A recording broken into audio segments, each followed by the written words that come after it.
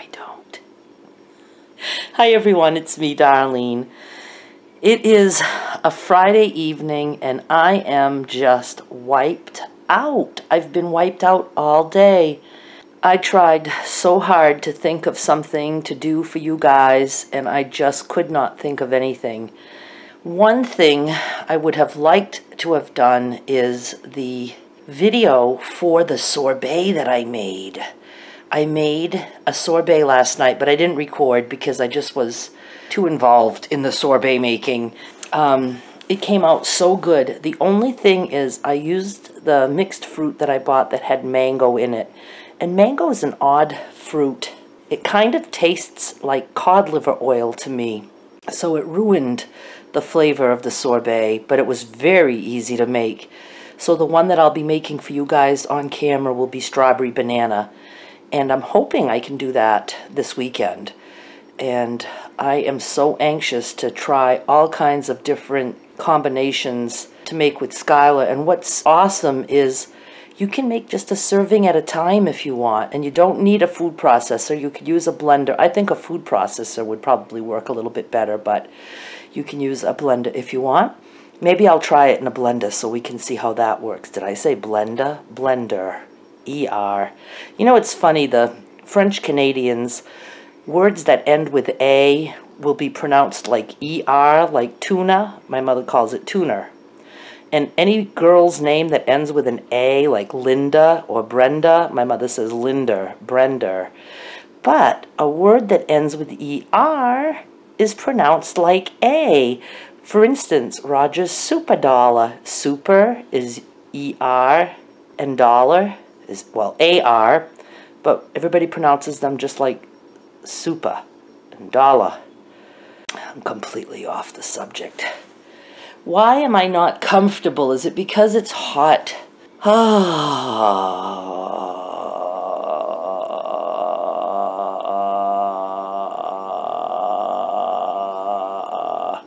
I wonder how long I could do that for. Probably for an hour. I have a lamp on and I don't like the light. I'm so a lover of darkness. I'm a dark girl. Somebody up the hill is just running a vehicle just for the heck of it. Boom, boom, boom. And I don't like that.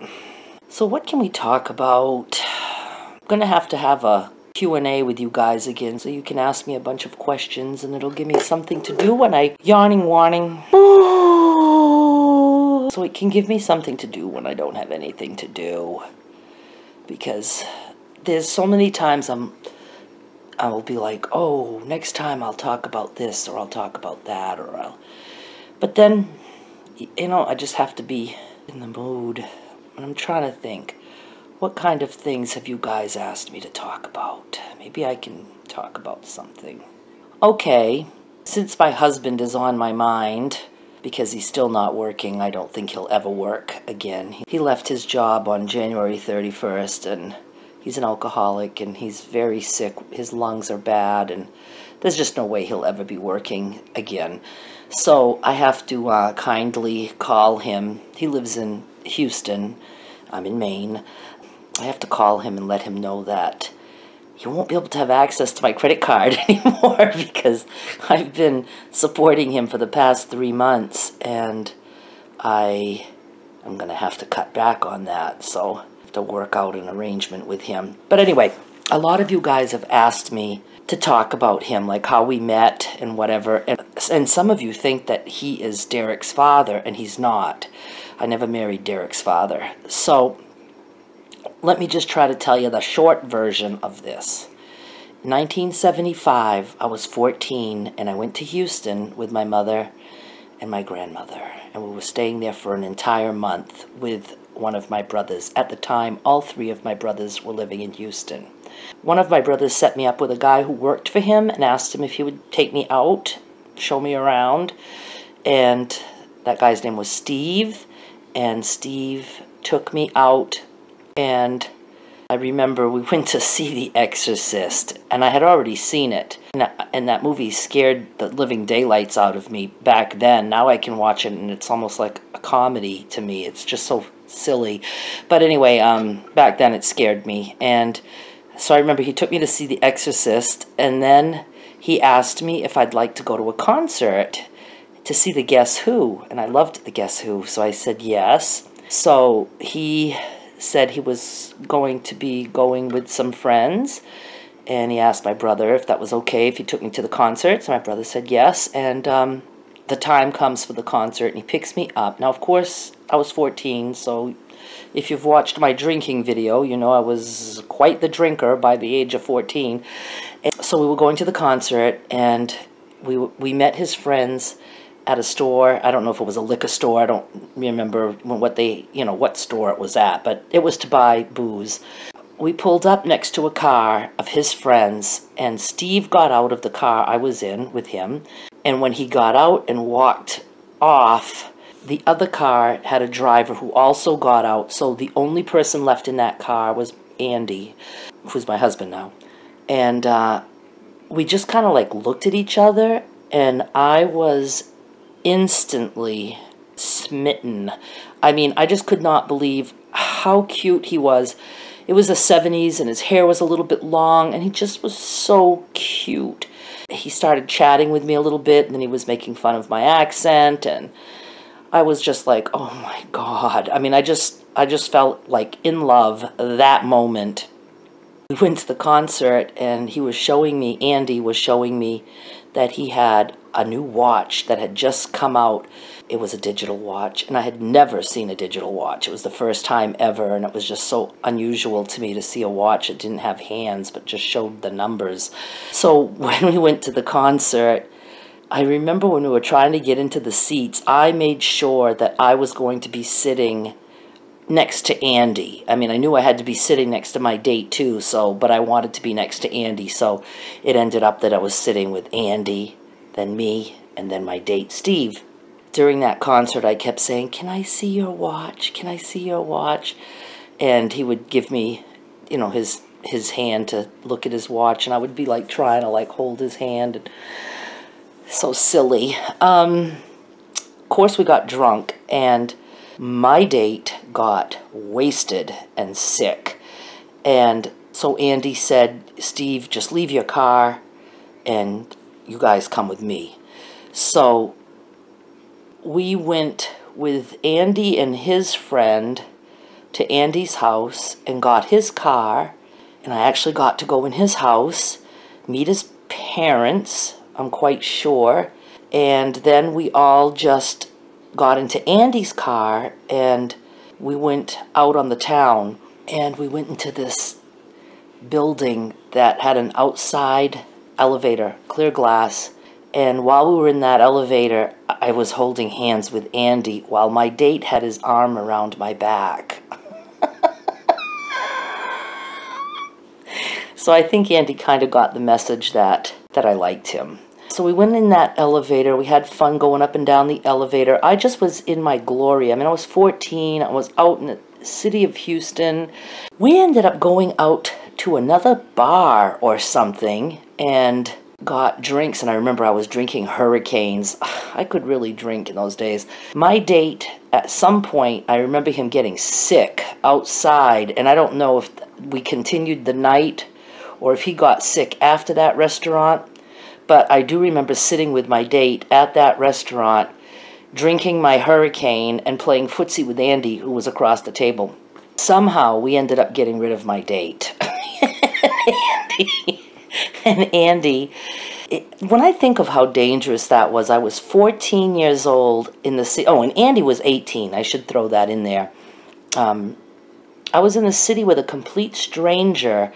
He was so nice to me and respectful and he took care of me and it was just like the most exciting night I'd ever had. Well, I was only 14, so I probably shouldn't have had too many exciting nights up to that point. But we just rode around the city and he showed me all kinds of things and he was just so cute and I was going to be there for uh, you know a few more weeks and I just fell in love with him that night, and he was just the nicest guy. And I remember we were stopped at a red light. When I lived there years later, he would always say, This is the red light that we stopped at. We stopped at a red light, and we probably let it go red, green, red, green like 10 times while we were just making out in the car. And people would go by, and it was just, you know, that's, that's as much as we did was kiss. And I just, I just fell in love. And I saw him a couple more times. Um, but I had to be sneaky because my brother was so mad because he brought me home at four in the morning. And so my brother wasn't too happy about that. But my sister in law during the day would let me go off and see Andy. So Andy would come and pick me up and he would take me out. And of course, we talked about how we'd be together one day and we exchanged addresses. And, you know, there were no cell phones in those days, so we couldn't keep in touch that way and I came when I came back to Maine. He and I, I, I know we wrote to each other maybe a couple of times. We might have talked on the phone a couple of times, and then that fall I met Rob, who is my son's father. So I had turned 15, and I met Rob, and we were together for like a year and a half, and I got pregnant, and then we split up, and that's another whole story. And when I was pregnant, I honestly think Andy was the first person I told. We hadn't talked in a while, and I wanted to tell somebody, and I called him just to tell him I was pregnant to say hi, and I found out that he was married and they'd just had a baby. And I just felt so sad that I'd lost my Andy. And so went on my merry way, had my baby, and when Derek was about six months old, I went back to Houston with a friend. While I was there, so now I was, this was in, uh, I was 17 now, and so I hadn't seen Andy for three years. He was married, he had a son, and I had a son. And his son is like almost a year older than my son. While I was there, I looked up and contacted the guy Steve, who I went out on the date with. And I told him, I said, You remember me? He's like, Yes, yes. And I said, Are you still friends with Andy? And he's like, Yes. And I was like, I'd love to see him. And he said, We can do that. He says, like, you know, I'll I'll make plans to see Andy if you want, and I'll pick you up, and you'll be my date. And he knew that I liked Andy and he was cool with that. But, you know, just, it would not make sense for me to want to go see Andy. So as a couple, as a date, we could go and his wife, Andy's wife, wouldn't have to know that I was in love with Andy. And, and, and because at this point, um, Derek's father and I were not together. So I just really wanted to see Andy. So Steve fixed it up and we went to Andy's and just watched TV and played some games with like some dice game or something and with his with Andy and his wife, and she was very very nice. And Andy still looked absolutely adorable, and I was like, oh my god! And somewhere I have a diary where I wrote how I felt when I saw him, and um, I wonder if I could find that. I probably could. Well, I'll save that for another time. Now let me go look. Hang on my God, you guys, I found the diary that I wrote and I found this picture. Now, this was Andy probably maybe five or six years after I met him. I believe in this picture he already had two children. He ended up marrying the mother of his kids and they had three children together and but then they divorced but this was him when he was like maybe very early 20s and he still had his shaggy hair, but it wasn't long like when I met him. And I just, and he had a little mustache. I wish I had a picture of him of, how come I have a glare, of when I met him when he was 18. This is a picture of Andy with his grandkids. I'm just going to cover their faces. Um, when this is probably like five or six years ago. I'm going to say so, like maybe, I don't know, maybe when he was like, maybe 54, 55. I'm having a hard time to show you this. But this is what I called my diary. It's just a little pad of paper that I had brought with me that year to Texas so I could have addresses of, of oh, I have Andy's address, an old, old phone number. Oh my God, names of friends to write to, people I haven't seen in years. Um, wow, I had a lot to say. This was, um, 1978, and it was the disco era. And I was a disco queen. But let's see here. Ooh, I danced disco again. Had fun, but was dancing terrible, I think. I remember I was 17. Joe was kind of cute. That must have been a guy I met at the bar or something. Oh, you could get into bars very easy. I was in bars at 14, both in Texas and here in Maine. We went to a club called The Place. I had a white Russian and one zombie. Uh, let's see here. I found Andy's phone number today after a whole day of searching and talked to his wife. He's still married, but she seems very nice. I said I'd call back about 6.15 when he got out of work, but I didn't. I want to call him tomorrow. August 24, oh, let me see here.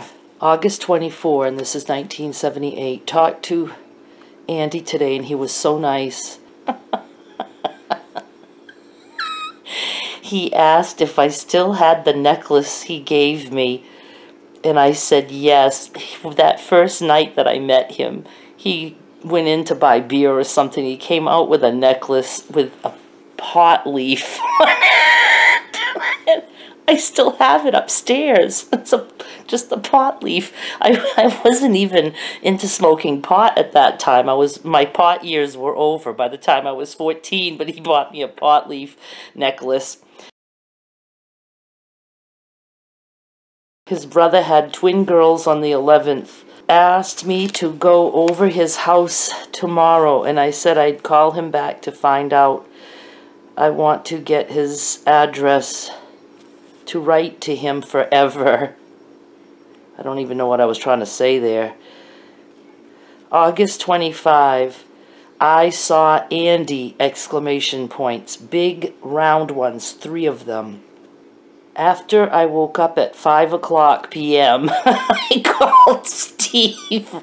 I called Steve Reynolds, that was Andy's friend, to see if he could take me to see Andy. I was tired, so... Oh, my friend was tired. I had gone with a friend, so she didn't want to go. Steve called back and said yes. On our way to Andy's, we stopped to change someone's tire. We finally got to Andy's after a long search for the apartment. Then we found it. His wife answered the door, and we went in. And when we entered the living room, I saw Andy. Beautiful Andy. His hair was long. I really love him. Why does he have to be married? My handwriting was terrible. He let me see his son Louis. He woke up and cried. We listened to the stereo. we played a game called Farkle. That was a dice game. And we even looked at home movies of his brother's stag party. Oh, I don't remember that his brother Jay. Andy's wife is not anything great, but she is real nice and lucky to have Andy. I smoked two of Andy's cigarettes, Marlboro Lights. I kept the filter of the second one. I have no no clue what that is. This is this is funny. I really can't write down all I feel. I want to get his address so bad, but I know it's impossible. How come that was impossible? Oh, I want to get his address so bad, but I know it's impossible to know him forever. Every time he'd move, he'd have to get in touch with me, and as if he'd want to do that. I still want to see him again. When we left, he came out to sh show Steve how to get back to the car, and I said, See you later, Andy. I couldn't say goodbye. Oh, he said a sentence to me, but I didn't understand it. I said, What? And he just looked and said, Bye. I wonder what he said. Oh, I was wearing my. I was wearing my tan high waisted pants, white and red shirt, halter, um, my three rings heart necklace and my gold flower earrings with white centers. I remember the first time I met him, I was wearing high waisted jeans and an aqua short shirt. He brought up the concert. Old memories came back. I loved him so much, and that will never stop. He said he still has his digital watch, but it's broken. I curled my hair tonight. In parentheses, I wrote for him. but the curls didn't stay. I wonder how he thought I looked. I wonder if it's possible he still feels the same towards me. I doubt it because it's crazy. I don't know why I feel this way. It's probably because I was young and fell for him and fell for his attention, but I still feel the same. It was love at first sight and an everlasting one at that. I love you, Andy, even though it's wrong. okay, so um, that was interesting. Makes me not want to cut him off the credit card. oh, my eyes are watering, but I'm not crying. It's just because I've been yawning. So, okay, so you must be wondering how come we're married? He, um, man, I didn't think I was even recording. He divorced. They were married for a while. He divorced. I saw him a couple other times when I went to Houston. Uh, I think I saw him once again after he was married, but they were splitting up. And then they divorced, but he married someone else. And I know we talked a few times while he was married to his second wife. And then I know I saw him another time. I can't remember if he was married to wife number two, but he had picked up me and another friend and brought us to a club, but he didn't want to go in the club. And then when he dropped us off, he decided he did want to go to the club, and he said he saw me inside the club and he saw me talking to one of the guys, so he didn't bother to come in.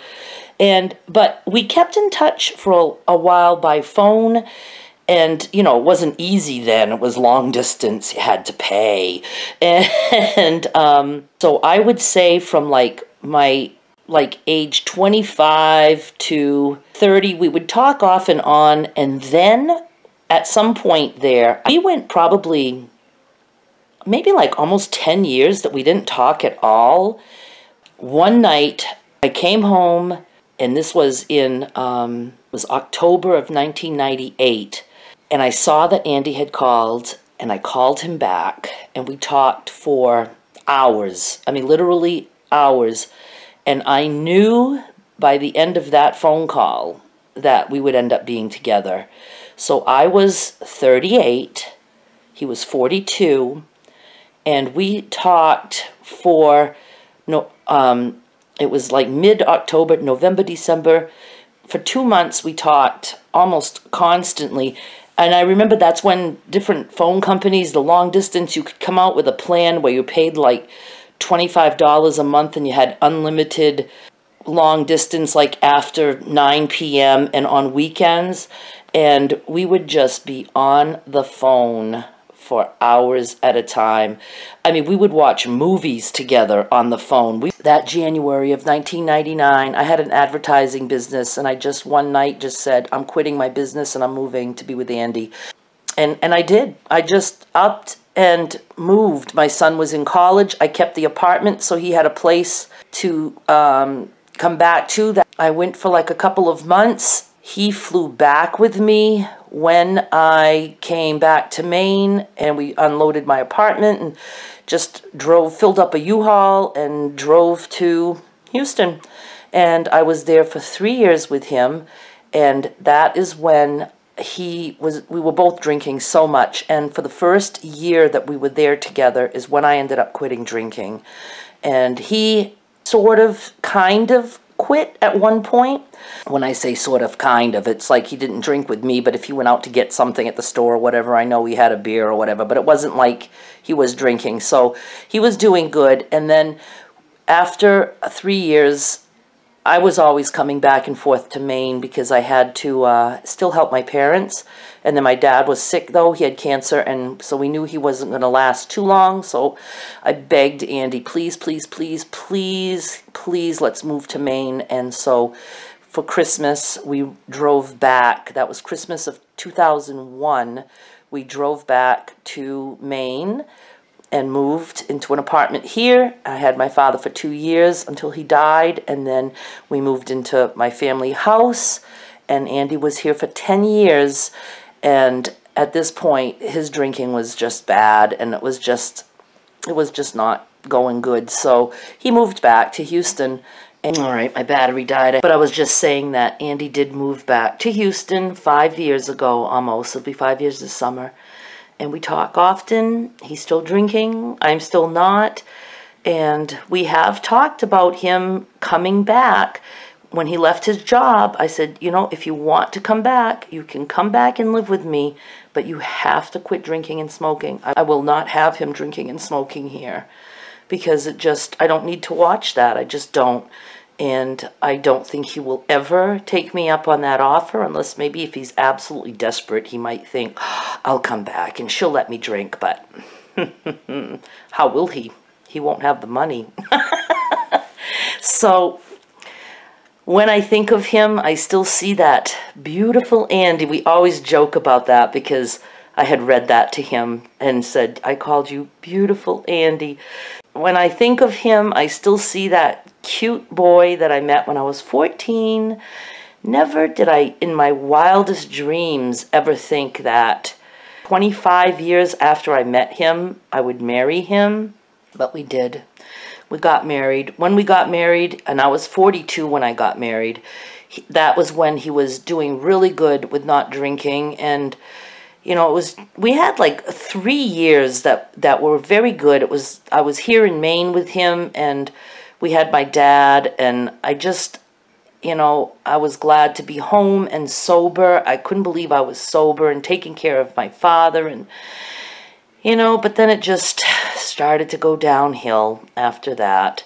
And he wasn't happy here in Maine at all. I was miserable in Houston, and you know, so I knew how he felt he started having grandchildren, and I knew I wanted him to be with his grandkids, and um, so yeah, he has three children, and he has one, two, three, four, five grandchildren, and I have just my one son, Derek, and I have one granddaughter, Skylar, and her brother, Jared, who I consider to be like a grandson because I'm every time I go there, I'm with him too. So he calls me Meme and everything. But anyway, that's the story of my beautiful Andy, and I uh, now I have to call him and tell him I'm going to send him some money. but he was nice to me, and I I just I love him. I just do. Whether or not he's an alcoholic and or what. I mean, it would be wonderful if we could have had it different, but we don't have it different. It's what, you know, we have what we have, and I just, um, he's a good guy. He just doesn't realize it. And that is it. So it's going to be time for the amazing race. So I've got to go. But this was this was fun. It was nice to reminisce about my beautiful Andy. So I hope you enjoyed. And thank you so much. I will be back with more soon. I love you guys. Bye.